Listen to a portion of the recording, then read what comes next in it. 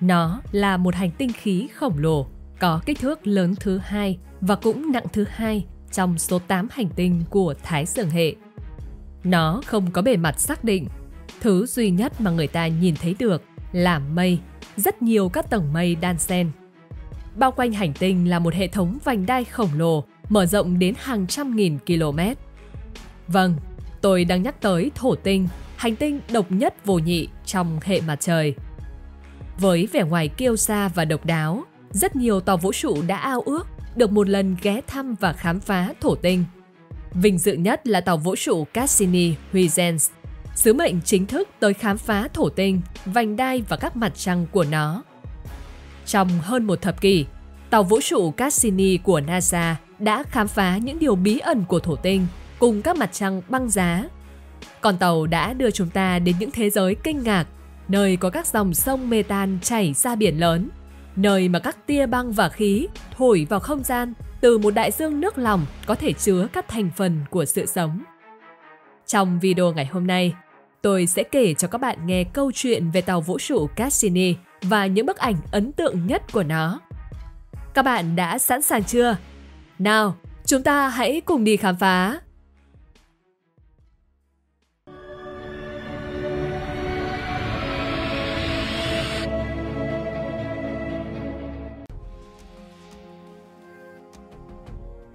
Lịch sử quan sát và thăm dò thổ tinh đã bắt đầu từ thời cổ đại.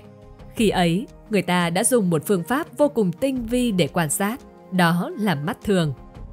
Đến thế kỷ 17, với sự ra đời của những chiếc kính thiên văn, Galileo Galilei đã lần đầu tiên phát hiện ra vành đai tuyệt đẹp của thổ tinh vào năm 1610. Những quan sát sau đó của Huygens, William Herschel phát hiện ra các mặt trăng của hành tinh. Nhưng chúng ta chỉ có cái nhìn gần gũi nhất về thổ tinh từ chuyến bay qua của tàu vũ trụ Pioneer 11 vào năm 1979 và Voyager 1 vào năm 1980 tiếp đến là Voyager 2 vào năm 1981. Những chuyến viếng thăm chớp nhoáng của các tàu vũ trụ đã để lại rất nhiều những câu hỏi về hệ thống tuyệt đẹp này. Bởi vậy, các nhà khoa học bắt buộc phải có một dự án chuyên nghiên cứu thổ tinh và sứ mệnh đó được chỉ định là Cassini-Huygens. Cassini-Huygens là một dự án hợp tác quốc tế của NASA, cơ quan vũ trụ châu Âu và cơ quan vũ trụ Ý. Nó bao gồm một tàu vũ trụ Cassini nặng 2.150 kg và một tàu thăm dò Huygens nặng 350 kg. Với tàu chính Cassini, nó sẽ có nhiệm vụ quan sát và thu thập các dữ liệu để gửi về trái đất. Còn tàu thăm dò Huygens, sau khi đến thổ tinh, con tàu sẽ được thả dù xuống mặt trăng lớn nhất của thổ tinh, đó là Titan. Vào ngày 15 tháng 10 năm 1997, tàu vũ trụ Cassini rời trái đất, mang theo tham vọng lớn nhất từ trước đến nay về khám phá hành tinh. Đến tháng 7 năm 2004, tàu vũ trụ bắt đầu đạt đến quỹ đạo của thổ tinh. Cassini đã trở thành tàu vũ trụ đầu tiên quay quanh thổ tinh. Tất cả đã thay đổi kể từ thời khắc đó. Hành trình khám phá thổ tinh bấy giờ mới thực sự bắt đầu. Ngày 25 tháng 12 năm 2004, tàu thăm dò Huygen do cơ quan vũ trụ châu Âu chế tạo đã tách khỏi Cassini để thực hiện cú hạ cánh ngoạn mục xuống bề mặt Titan, vệ tinh lớn nhất của thổ tinh.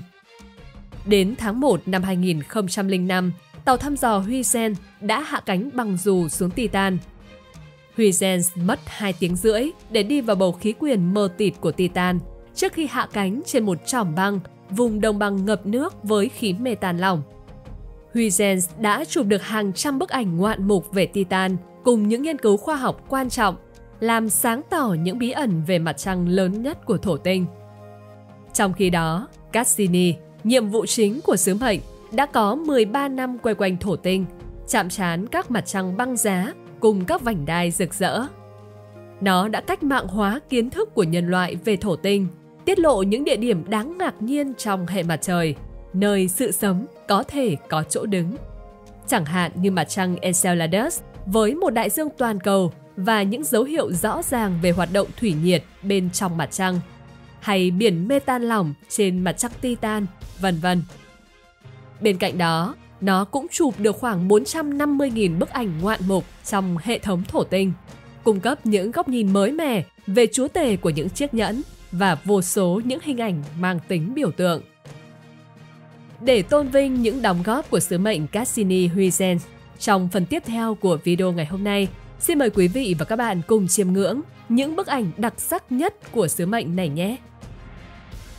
Khi lang thang trong hệ thống của thổ tinh, mỗi năm Cassini lại có một góc nhìn mới mẻ về thổ tinh, hành tinh thứ 6 của hệ mặt trời.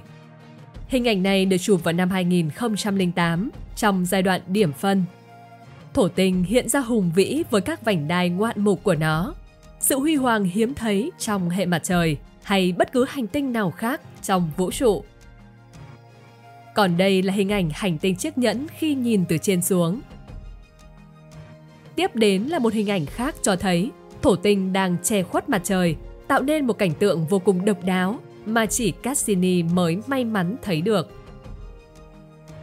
Trong hình ảnh này, nếu tỉ mỉ quan sát, bạn sẽ thấy một hình lục giác trong bầu khí quyển, nơi cực bắc của thổ tinh.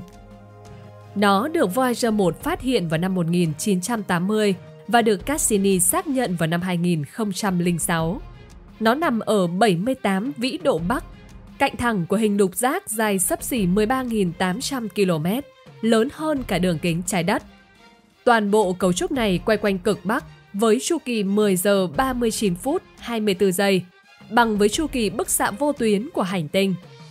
Các nhà khoa học giả thuyết rằng chu kỳ này bằng với chu kỳ tự quay của phần bên trong thổ tinh. Cho đến nay, các nhà khoa học vẫn chưa hiểu được tại sao thổ tinh lại hình thành cấu trúc lục giác đó Tại trung tâm của hình lục giác kỳ lạ, tồn tại một tâm xoáy bí ẩn. Nó trông như một mắt bão khổng lồ. Nhắc tới thổ tinh, không thể không nhắc tới những vành đai. Nó là hệ thống vành đai mở rộng nhất trong hệ mặt trời, khiến các hành tinh khác phải ghen tị. Vành đai mở rộng từ 6.630 km đến 12.700 km bên trên xích đạo của hành tinh. Với độ dày trung bình 20 m, chứa 93% là băng nước, một ít tholin và 7% là carbon vô định hình. Những hạt trong vành đai có kích thước từ những hạt bụi nhỏ cho tới những tảng băng lớn 10 mét. Đây là những hình ảnh thực tế về vành đai được tàu Cassini chụp lại. Có hai giả thuyết chính về nguồn gốc của vành đai. Một là những phần còn lại của một vệ tinh tự nhiên của thổ tinh đã bị phá hủy trong quá khứ. Giả thuyết thứ hai đó là những vật liệu còn lại từ tinh vân lúc hình thành hệ mặt trời, còn sót lại khi thổ tinh hình thành. Ngoài ra, một số băng nước trong vành đai xuất phát từ những mạch phun của vệ tinh Enceladus. Các nghiên cứu gần đây chỉ ra rằng các vành đai chỉ mới xuất hiện vài trăm triệu năm trở lại đây. Trong chuyến hành trình của mình, Cassini đã dành phần lớn thời gian để chụp những bức ảnh tinh tế từ nhiều góc chụp khác nhau về vành đai. Trong 13 năm công tác trên hệ thống thổ tinh, Cassini cũng đã nhiều lần chạm trán với các mặt trăng năng động của hành tinh. Đây là cận cảnh về Enceladus bằng giá với những sọc vằn. Còn hình ảnh này là cực bắc của mặt trăng, từ tầm quan sát 10 km phía trên cho đến 100 km phía bên dưới.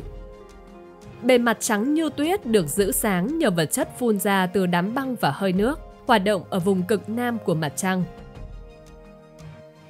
Tiếp đến là mặt trăng Titan, hình ảnh được chụp dưới bức sóng hồng ngoại, giúp tàu vũ trụ có cái nhìn xuyên qua bầu khí quyển sương mù của Titan.